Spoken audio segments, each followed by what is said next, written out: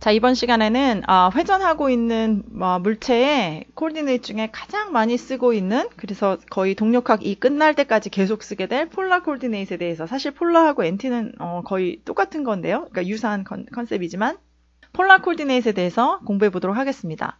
자, 먼저 A, 이제 A가 velocity vector V를 가지고 이렇게 curvature를 갖고 움직일 때 우리 TN 코디네이트에서는 이 velocity vector T에 대한 tangential로 맨 처음에 coordinate 정했잖아요. 하지만 polar coordinate는 어떤 어, reference 원점이 있습니다. reference 원점 O에 대해서 이 포인트 A까지의 거리를 R 그리고 어떤 그 기준점으로부터 그 음, 그 distance 벡터 r에 대한 각도를 theta 이렇게 놓게 되죠. 그래서 r 방향을 이 r 벡터, theta 방향을 이 theta 벡터라고 정의하게 됩니다. 자, 그리고 나서 그러면 r은 r 이 r이 되겠죠? 그러면은 velocity는 r을 미분한 값이니까 이렇게 될 것이고 그래서 미분을 하게 되면 앞에 있는 r er 플러스 r er 다시 됩니다. 자, 그러면은 마찬가지로 어, 이 er dot term이 이 unit 벡터가 시간이 지나면 변하는가 Cartesian coordinate처럼 0이 아니고 변하는가 그것에 대해서 한번 살펴볼게요. 이제 A가 A 프라임으로 변했다고 치면은 이제 velocity 벡터는 V에서 V 프라임이 돼서 TN coordinate에서는 그래서 이 T 벡터가 변했죠. 자, 그랬을 때 A 프라임에 대한 polar coordinate 정의는 원점부터 여기까지의 이 거리 R에 대해서 이 R 벡터하고 이 N 벡, 이 세이라 벡터가 정의되죠. 그럼 이 R 벡터가 변했죠. 그러니까 direction이 변했지 않습니까? 따라서 이 R 벡터의 time derivative가 이제 더 이상 0이 아닙니다. TN coordinate 했던 것처럼요. 자, 그래서 그것을 좀 더 이 빨간 박스 안에다가 놓고 보게 되면은 이 R 벡터가 이랬다가 이 R 프라임으로 변하고 그 각도가 d 세타입니다. 따라서 이 dr이라는 이 그 벡터 매그니튜드는 d 세이라의 이 세이라 방향이고요. 이게 r이 되게 작다 그러면 이 저 수직 방향이 되겠죠. 그리고 이것을 time 미분하게 되면은 세이라 닷이 세이라가 됩니다. 따라서 이 미분 값을 0이 아닌 값을 집어넣게 되면은 v라는 것이 r.er에 r.theta.e.theta라는 이런 term을 갖게 되죠. polar coordinate에서는요. r을 미분하면은 이렇게 된다. 자, 그럼 acceleration은 다시 또 이제 velocity를 미분한 거니까 다시 이 term을 미분 이 term을 미분하게 되면 되는데요. term이 많아서 하나씩 하나씩 해보겠습니다. 첫 번째 미분인 r 더블 닷의 er, 두 번째는 r er 세 번째는 r theta e theta, 네, 네 번째는 r theta double dot e theta, 그리고 마지막은 어, 유닛 벡터인 e theta를 미분한 것입니다. 우리가 이미 r, e, r의 dot 얘가 0이 아니라는 것은 알았죠? 이게 얘가 0이 아니고 바로 세이라 닷 e 세이타라는 것은 알았는데요. 이 세이라 닷은 어떻게 될까요? 이 세이타 닷도 방, 지금 여기서 보시면 변했잖아요. direction이 변하죠? 그러니까 미분값이 0이 아닐 것입니다. 자, 그래서 그걸 살펴보면 e theta가 이렇게 있다가 이렇게 그 지금 여기서는 counter clockwise로 움직이는 것처럼 움직였죠? 그렇게 되면 당연히 이 D, D 세타가 존재하고요. 그 각도의 크기는 d 세타가 되고 이 유닛 벡터니까 de 세타의 크기는 d 세타에다가 er 1이고요. 그 다음에 direction은 지금 r이 올진에서 바깥으로 나가는 것인데 이게 지금 안으로 들어오고 있으니까 마이너스 마이너스 er이 됩니다. 마이너스 er. 그래서 이것을 time 미분하면은 e theta dot은 마이너스 theta dot의 er. 지금 하나는 마이너스가 있고 하나는 마이너스가 없습니다. 이거 헷갈리지 마세요. 그래서 이 값을 또 여기다 집어넣게 되면은 이 전체 식이 이 r 텀과 세라 텀으로 쭉 정리가 되고요. 이것을 다시 한번 정리해서 써보면은 r 텀이 두 개인데 하나는 r double dot 그리고 하나는 마이너스 r theta dot square 이게 우리가 그 뭐 high school physics나 university physics에서 배웠던 어, 원심, 아, 구심, 구심 가속도, centripetal acceleration 되겠습니다. 그리고 two r dot theta dot, 이게 코리올리 acceleration이죠. 그 다음에 r theta double dot 텀이 이제 이 세타 term으로 나오게 돼요. 그래서 polar coordinate에서는 acceleration term이 4개입니다. TN 코디네이트에서는 2개였는데 polar에선 4개가 되고요. 이거는 거의 음, 너무 많이 연습해서 외우다시피 할 정도로 연습을 해 보셔야 합니다. 그래야지 문제도 풀 수 있고 어, 원 운동을 설명하고 이해할 수가 있어요. 자, 그래서 기회를 드리겠습니다. 여기에 어, blank가 되어 있고요. 기본적인 어, 틀은 주, 어졌으니 어떻게 R, 이 R로부터 velocity가 이게 나오고 가속도가 이게 나오는지를 한번 지금 잊어버리기 전에 연습을 해보시기 바랍니다. 자, 이제 polar coordinate의 예제를 한번 풀어보겠습니다. 여기 이제 gripper가 있고요. gripper가 이제 어, 로, 시계 방, 아, 반시계 방향으로 이렇게 세타로 어, rotating 하고 있습니다. 어, 그리고 그 rotating 하고 있는 속도는 오메가고요. 자, 그랬을 때 이 gripper에 있는 요 P점, P점의 어, 속도하고 acceleration을 구하라 하는 문제입니다. 좀 회전하는 것이기 때문에 어, TN으로도 풀 수 있고 polar로도 풀 수 있는데요. 이제 여기서는 또 뭐 또 주의할 점이 이 그 moment arm 그 제 이 원점으로부터 이 P점까지의 거리가 이제 L이 변하게 됩니다. L이 시간에 대해서 변하는 그 velocity term과 L의 가속도 텀이 이제 주어져 있는 그러한 케이스입니다. 자, 그럼 폴라 코디네이트에서 어, 포지션과 R, 포지션 벡터 R과 V와 A와의 관계를 혹시 기억이 나시나요? 연습을 하도 많이 하셔갖고 거의 외우다시피 하셨죠? 자, R은 RER, V는 그쵸? R.ER에 R theta.E theta, acceleration. 그러면 이제 여기서 R.에 해당하는 게 뭐죠? 지금 R이 L0에다가 L을 더한 거니까 미분값은 L.만 있게 되겠죠? 아, 그리고 acceleration 먼저 하고 해, 돌아가겠습니다. acceleration term 4개도 거의 외우다시피 하셨죠? r double dot minus r theta dot square 2r dot theta dot plus r theta double dot. 자, 그럼 여기에다가 주어진 값들을 대입하고요. 여기서 이제 주의할 것은 r일 때는 l0에서 l을 더하지만 이제 미분 값은 l0 컨스탄트니까 l-만 들어가고 이제 여기도 마찬가지로 주어진 값들을 다 대입하고요. 여기서 이제 constant angular velocity라고 했기 때문에 어, theta double dot term 이런 이런 애는 이제 0이 되게 됩니다. 자, 그래서 그냥 주어진 거를 다 넣으면 답이 나오는 그런 어, 공식을 외웠나 안 외웠나 또는 kinematic 그 polar coordinate의 가속도를 유도할 수 있나 없나를 사실 알, 어, 알아보는 그런 문제입니다.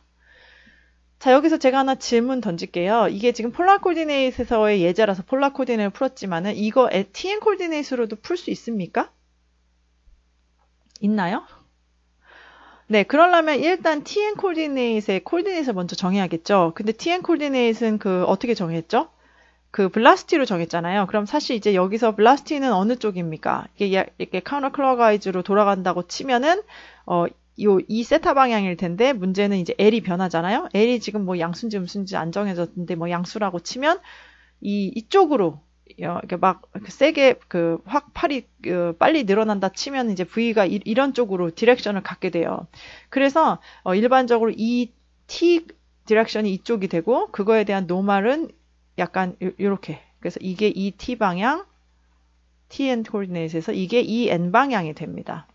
자, 그래서 이렇게 하게 됐을 때, 아이고, 좀, 음, 다, 잘, 다르게 나왔지만, 이때의 acceleration 텀은 탄젠셜 방향으로는 v 닷, 노말 방향으로는 v 스퀘어 오버 로가 돼요. 그래서, 물론 이, 그, 주어진 값들을 tn 코디네이트로 변환할 수 있지만, 뭐, 그, 숫자가 주어지지 않았으면 아주 이렇게 쉬운 건 아니죠. 자, 그럼 여기서 또 질문. 이 rho라는 값이, 이게 뭐뭐, 어, 어, radius of curvature인데, 이 경우에, L 더, L0 더하기 L인가요? 아니죠. 아니죠. 왜냐하면 지금 이 N방향으로 이렇게 가 있는 radius curvature기 때문에 지금 이 원점인 이 O점의 그, 에서부터 P까지 이 길이랑은 전혀 상관이 없습니다. 네. 자, 그러면 언제 polar coordinate 쓰고 언제 TN coordinate 쓸까요? 아마 짐작하셨겠지만, 음, 보통, 사실, 어, 아무 때나 다 두 가지 coordinate 쓸수 있지만은, 보통 이렇게 그, 원점이 specify 되어 있는 경우는 polar coordinate를 많이 쓰고요. 그 원점이 이렇게 딱 specify 되지 않아 있는 경우는 보통 어, TN 코디네이트를 많이 씁니다. 물론 다 같이 병행해서 쓸 수 있지만요. 자, 문제 하나 더 풀어볼게요. 자, 이제 그 수직으로 올라가는 로켓이 있습니다. 로켓이 있고, 이제 여기가 그 관측대고요. 관측대에서 이제 얘를 봤을 때, 그러니까 polar coordinate를 만든 거죠. 어, R하고 세이라라는 R 세이라 코디네이트, 폴라 코디네이트로 놨습니다. 이렇게 됐을 때 관측한 게 이 R의 미분값, 어, 가속도 값, R의 가속도 값하고 angular rate, omega가 측정이 됐어요. 자, 그랬을 때 이 로켓의 속도하고 가속도를 구하시오. 자, 그러면 이제 대충 R하고 theta 주어졌기 때문에 polar coordinate 쓴다는 이제 감이 있고요. polar coordinate V하고 A라는 공식을 소환을 해야 됩니다. 거의 외우다시피 하셨겠지만, 음, R 세타 코디네이트에서 R이 RER일 때 V는 뭐였죠? 그렇죠? R.ER에 R theta.E theta. 자, 그러면은 이제 여기서 magnitude를 구하라고 했기 때문에 어, r 닷의 제곱 더하기 r 세라 닷의 제곱을 구하면 이제 velocity magnitude 구할 수가 있는데요. 문제에서 뭘 주어졌냐면 이제 오메가, 즉 theta dot을 주어졌단 말이에요. 자, 그러면은 어, 이 지금 어, r dot이 모, r dot이 모르는 값입니다. r dot이 모르는 값이기 때문에 아 잠깐만요. 여기서 r도 저 측정이 됐다고 치고요. theta하고요. 자, r dot이 모르는 값이기 때문에 magnitude 더 이상 구할 수가 없어요. 자, 그러면 이때 이럴 때는 좀 어, 문제에서 그러니까 언노운 개수가 많을 때는 식을 잘 세웠는데 언노운 개수 많을 때는 문제에서 뭔가 힌트가 그러니까 constraint이 있습니다. 이 로켓이 지금 수직으로 가고 있다고 하잖아요. 네, 수직으로 가고 있으니까 이제 V theta 방향하고 VR의 어떤 합력, 합력에서 total velocity는 블라, 어, 벌티칼이 되죠. 자, 그렇게 되면은 결국은 V 세라하고 VR이 서로 independent한 게 아니라, 어, constraint, kinematic constraint을 가지죠. 그래서 이 점, 이게 바로 theta랑 똑같은데, VR은, 어, V 세타랑, 어, 탄젠트 관계가 있다.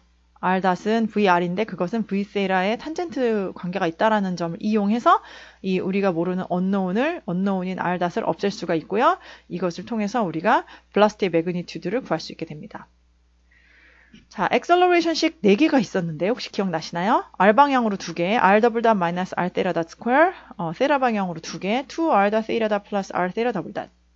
자, 그럼 여기서는 이제 뭐뭐가 주어졌는지 볼게요. 이제 magnitude 구하려고 봤는데 R double dot 주어졌고 오메가 주어졌으니까 얘도 주어졌고 R도 알고 하니까 이 앞에 term은 우리가 다 아는 term이에요. 자, 그런데 두 번째 R 다텀. R 다텀은 몰랐는데 이제 위에서 구하긴 했고요.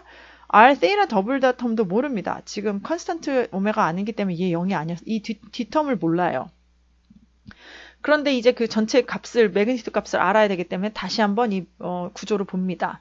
이게 R 세라 코리네이트에서 A 세라는 이쪽, AR은 이쪽이고 그거의 total net sum이 이제 벌티칼이기 때문에 이 AR과 A 세타가 이제 더 이상은 independent 아니고 서로 각도를 가지고 있는 constraint를 갖고 있다는 걸 활용해서 뭐 언노운인 이 경우에는 이제 아까는 VR이 unknown이었는데 이 경우는 A 세타가 언노운이죠.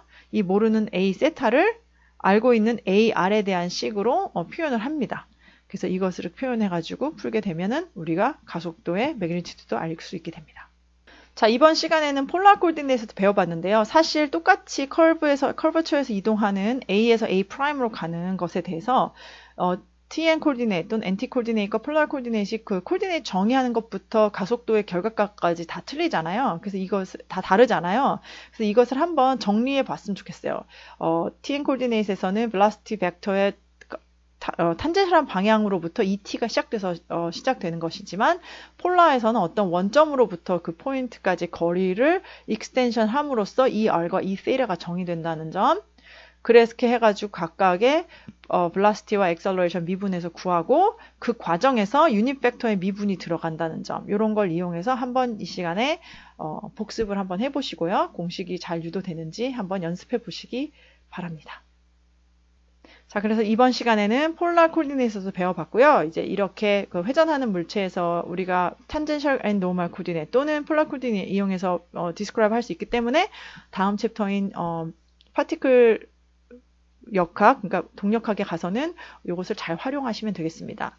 그 사이에 다음 챕터에서는 렐러티브 모션에 대해서 간단히 어, 짚고 넘어가도록 하겠습니다.